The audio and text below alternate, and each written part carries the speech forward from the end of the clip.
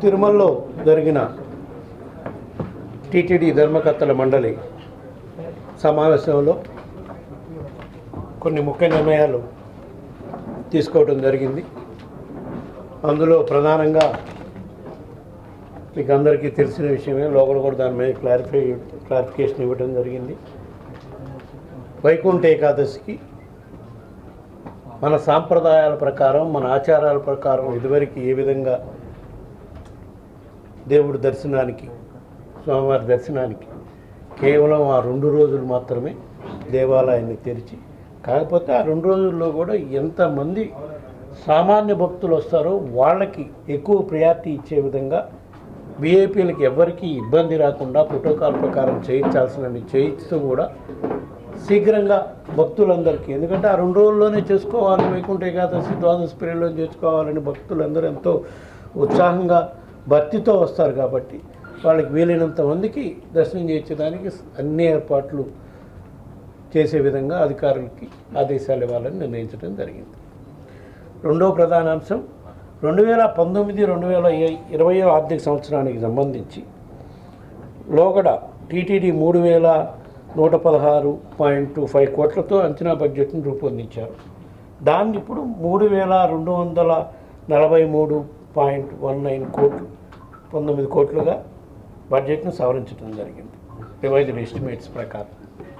దీన్ని ప్రకారం చూసుకుంటూ ఇందులో డీటెయిల్డ్గా శ్రీ శ్రీవారి ఉండి ఆదాయం నుంచి పన్నెండు వందల ముప్పై ఒక్క కోట్లు అంచనా వేశారు. అది ఇప్పుడు పన్నెండు వందల ఎనభై ఐదు కోట్లుగా సమీకరించడం జరిగింది. అదేవిధంగా ప్రసాదాలు వీటి ద్వారా విక్రయించింది రెండు వందల డెబ్బై కోట్లు ఉంటే దాన్ని మూడు వందల ముప్పై కోట్లుగా వస్తుందని అంచనా వేయడం జరిగింది. ఇంకా మిగతా చిన్న చిన్న తిరుమల తిరుపతిలోని పద్మావతి శ్రీనివాస్ కళ్యాణ మండపాల్లో సెంట్రలైజ్డ్ ఏసీ ఏర్పాట్లు చేయాలని ఉన్న నిర్ణయించడం జరిగింది. దానికి ఏదో మూడు కోట్ల చిల్లర శాంక్షన్ చేయడం జరిగింది.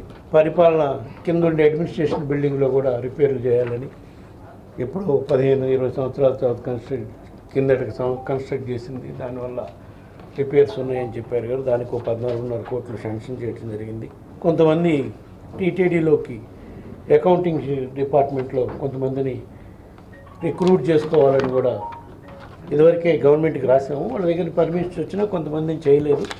అది కూడా చేయాలని చెప్పి చేయడం జరిగింది. అదేవిధంగా లోగడ బోర్డులో నిర్ణయించినట్టు మన టీటీడీ తరఫున ముంబాయిలో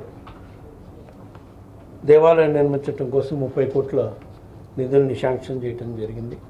అదేవిధంగా నార్త్ ఇండియాలో ఉత్తర భారతదేశంలో జమ్మూ కాశ్మీర్లో కూడా తిరుమల వెంకటేశ్వర స్వామి దేవాలయం నిర్మించాలని దానికి ల్యాండ్ అలాట్ చేయాలని జమ్మూ కాశ్మీర్ గవర్నమెంట్కి రాయాలని నిర్ణయించడం జరిగింది.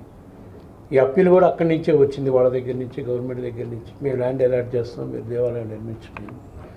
అదేవిధంగా ప్రధానమంత్రి నరేంద్ర మోడీ గారి కాన్స్టిట్యున్సీ అయిన వారణాసి కూడా పవిత్రమైన స్థలం కాబట్టి అక్కడ కూడా దేవ మన తిరుమల తిరుపతి వెంకటేశ్వర స్వామి దేవాలయం నిర్మించాలి అని బోర్డులో నిర్ణయించడం జరిగింది. యూపీ గవర్నమెంట్ కూడా ల్యాండ్ అలాట్ చేయడానికి రిక్వెస్ట్ లెటర్ రాయటానికి కూడా నిర్ణయించడం జరిగింది. తిరుమలలోని వరాస్వామి వాళ్ళ ఆలయానికి రాగిరేకుడు బంగారు పనులు చేపట్టేదానికి పద్నాలుగు కోట్ల రూపాయలతో టీటీడీ ఖజానా ఖజానా నుంచి బంగారాన్ని ఇచ్చేదానికి కూడా నిర్ణయం తీసుకోవడం జరిగింది. అనదర్ ఇంపార్టెంట్ ఇష్యూ తిరుమల తిరుపతికి సంబంధించి ఘాట్ రోడ్ రిపేర్ల విషయంలో రెండు మూడు రకాల ప్రపోజల్స్ వచ్చినాయి. కొన్ని సీసీ రోడ్లు ఏదైనా పర్మనెంట్గా ఉండాలి. ఎందుకంటే అన్నిటికన్నా ముందు భక్తులకు ప్రయాణించేటప్పుడు సేఫ్టీగా ఉండాలి. ఆ సేఫ్టీ విషయంలో కాంప్రమైజ్ కాకూడదు అని చెప్పి ముందు టెంపరీగా రిపేర్లు చేయడానికి బౌద్ధ రోడ్స్ బీటీతో రిపేర్లు చేసేదానికి పది కోట్ల రూపాయలు శాంక్షన్ చేసాం కానీ వాళ్ళు పర్మనెంట్గా సీసీ రోడ్లు వేస్తే బెటరా? పర్మనెంట్గా బీటీ రోడ్లో రెన్యువల్ చేసుకుంటా చేస్తే బెటర్? ఒక ఎక్స్పర్ట్ కమిటీ వేసి ఎన్హెచ్ డివిజన్ నుంచి కానీ ఐఐటి చెన్నై నుంచి కానీ జేఎన్టీ నుంచి కానీ కమిటీ వేసి రిపోర్ట్ ఎందుకంటే ఘాట్ సెక్షన్లో మనం ఏం చేయాలన్నా కూడా అది మళ్ళీ మళ్ళీ చేయలేము ఒకసారి చేస్తే పర్మనెంట్గా ఉండాలి. భక్తులకు ప్రయాణించేటప్పుడు బస్సులు కానీ కార్లు కానీ సేఫ్టీ ఆస్పెక్ట్ ఇంపార్టెంట్ కాబట్టి సీట్ కాకుండా స్కిడ్ కాకుండా ఉండాలి.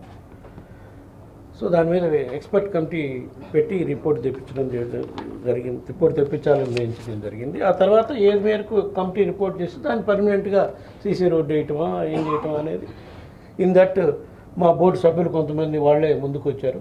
ఇద్దరు సిమెంట్ ఫ్యాక్టరీ యజమానులు మన బోర్డు సభ్యులు ఉన్నారు.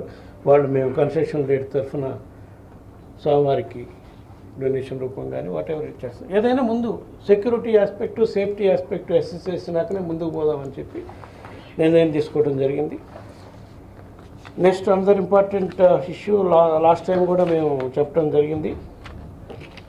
ఈ సైబర్ సెక్యూరిటీ విభాగాన్ని ఒకటి ఫుల్ ఫ్లెడ్జ్ డిపార్ట్మెంట్ని టీటీడీ ఆధ్వర్యంలో తిరుపతిలో కానీ తిరుమలలో కానీ ఎస్టాబ్లిష్ చేయాలని దానికి సపరేట్ అధికారిని నియమించాలని దాంట్లో కూడా కొన్ని టెక్నాలజీ విషయంలో ప్రసిద్ధి చెందిన కంపెనీలని ఎస్పెషల్లీ ఐటీ కంపెనీస్ ఎందుకంటే ఈ social media cyber security social media wing వీటిని కంట్రోల్ చేయలేకపోతే ఈ వీళ్ళ దుష్ప్రచారానికి మరీ అడ్డు ఆపు లేకుండా పోతుంది. లోగడ జరిగిన కొన్ని సంఘటనలు దృష్ట్యా దాన్ని ఎట్లా కంట్రోల్ చేయాలి? ఎవరైనా మన మీద తప్పుడుగా సమాచారం ప్రచారం చేసినా వాట్సాప్లో కానీ సోషల్ మీడియాలో కానీ ఏ విధంగా చర్యలు తీసుకోవాలి? ఇమీడియట్గా వాళ్ళని ఎట్లా ఐడెంటిఫై చేయాలి?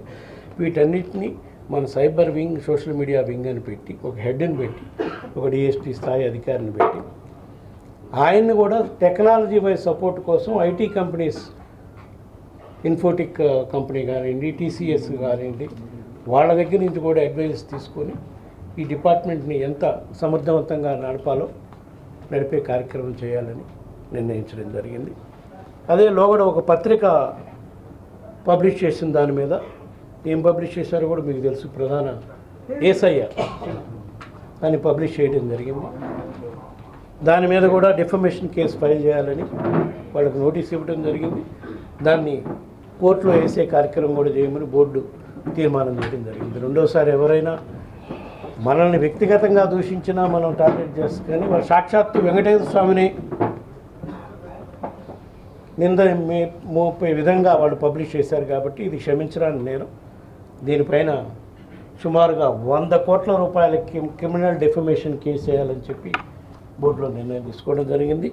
ఇంకా మా బోర్డు సభ్యులు కొంతమంది డబ్బు కోసం డబ్బుతో కాదు ఇది వెయ్యి కోట్లు వేసినా కూడా దానికి ఉండదు. అట్- అట్లాంటి నేరం అది. దాని మీద చర్య తీసుకునే కార్యక్రమం అనేది రెండోసారి ఎవరు ఇటువంటి కార్యక్రమానికి మనల్ని వ్యక్తిగతంగా అనొచ్చు పార్టీని అనొచ్చు కానీ సాక్షాత్తు దేవుణ్ణి అనేది కలియుగ దైవం నిలబెత్తు స్వామిని ఆయన్నే ఇదిగా పబ్లిష్ చేస్తున్నారు. దీని మీద చర్య తీసుకోవాలని చెప్పడం జరిగింది. అలాగే రమణ దీక్షితుల్ని ప్రధాన అర్చకుగా మళ్ళా నియమించాలని బోర్డులో నిర్ణయించడం జరిగింది. అది దట్ వీ హ్యావ్ డిజిగ్నైడ్ కొన్ని ఏ పోస్ట్ ఆయన పొజిషన్స్ అసలు రోలు అవన్నీ వాళ్ళ ఆర్డర్స్లో దే విల్ గివ్ అవి కూడా డిస్కస్ చేసాము క్లియర్గా ఉన్నాయి. త్రీ మూడు మూడు నాలుగు పాయింట్లు వాళ్ళు మెన్షన్ చేశారు. ఏ రోలు? ఎక్కువ advisory రోలే. Not directly involving in advisory role ఎవరైనా విఐపీస్ మొన్న స్వామీజీ వచ్చినప్పుడు కూడా చెప్పాము ఆ రోజు. పూజారులు ఆ రోజే చెప్పారు మా దృష్టికి తీసుకొస్తే ఇది ఒక్క స్వామీజీతోనే కాదు అందరు స్వామీజీలతో మాట్లాడాలి.